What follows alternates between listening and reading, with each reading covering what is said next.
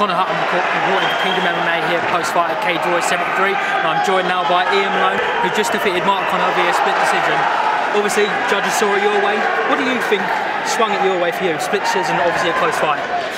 Uh, I don't know. I think it was uh, it was two rounds to one in, in two of the judges' eyes. I think I guess it was the inverse for the for the other judge. Um, I think you, you watch the fight round by round. It was the it was the, the first or second round have, could have swung it away. I don't, I don't have to watch the fight. Really close fight, super tough guy.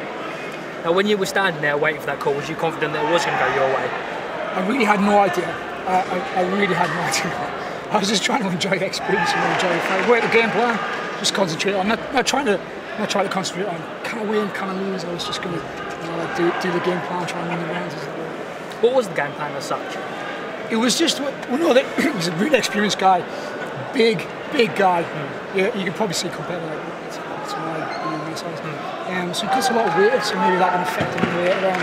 It was just get through the first round, get through the first round, hopefully the guy tired and try to try to sort of pull away. Uh, yeah, maybe it, maybe it worked out like that. Now, three years you've been away from the cage. What made you decide to come back now? Was it, was it the right time now? Why? It's just I, have really been enjoying the training. Really. You know, like I've spent a lot of time. My my love is jiu-jitsu. I've, tra- I've always trained jiu-jitsu. I'm really confident that you know I can take a lot of guys on and fight to the death and eventually win it. Well, more recently I've enjoyed training. You know, the MMA aspect, the, the whole thing.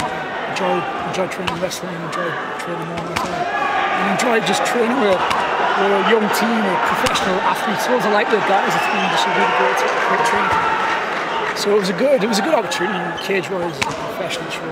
I really get to come in a fight anymore, so I just want to fight these, in these well-run sort of professional show.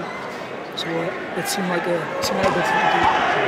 So now, like I said, you come back off from such a long layoff. Are you going to stick around this time? Yeah, I hope so. I'm going, I'm going to keep training. I'm going to go back and train and then we'll get back in there. Some more guys getting ready for fights. So it's, just, yeah, it's really good flyweight is obviously a high rising division now in Cage Warriors. There's a lot of contenders coming through. Anyone in mind who do you reckon could test you? Who could be the next opponent? They're all really tough guys, yeah. Everyone. It's, it's such a highly skilled division. Such a highly skilled division. Um, yeah, look, just all, all real handful. I've been really interested in watching fights tonight. Well, congratulations on the win, and we hope next time it'll be quick we see you. Uh.